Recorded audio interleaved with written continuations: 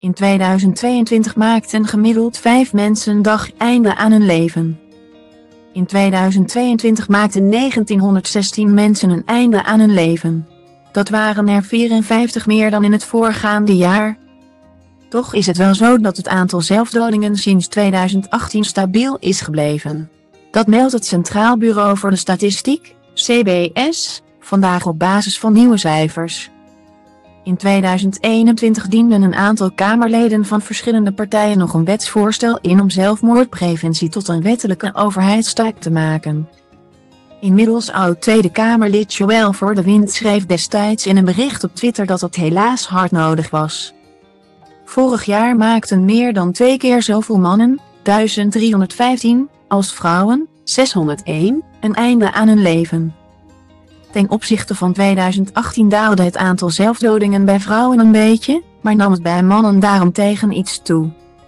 In ongeveer 70% van alle gevallen ging het om mensen van boven de 40 jaar. 113 zelfmoordpreventie, wat 113 preventie, mei 12, 2023. Ondanks dat dus vooral mensen van boven de 40 uit het leven stappen, is het bij jonge mensen juist de belangrijkste doodsoorzaak. Als we kijken naar tieners is zelfdoding bij 1 op de 5 sterfgevallen de doodsoorzaak. Bij twintigers is dat nog een stuk meer, namelijk bij 1 op de 3.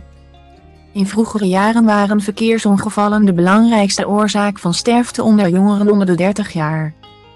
Van tieners die in 1970 overleden, was bij 44% een verkeersongeval de doodsoorzaak en zelfdoding bij nog geen 3%. Bij twintigers die in 1970 stierven was in 37% van de gevallen een verkeersongeluk de reden van overlijden en stierf bijna 8% door zelfdoding.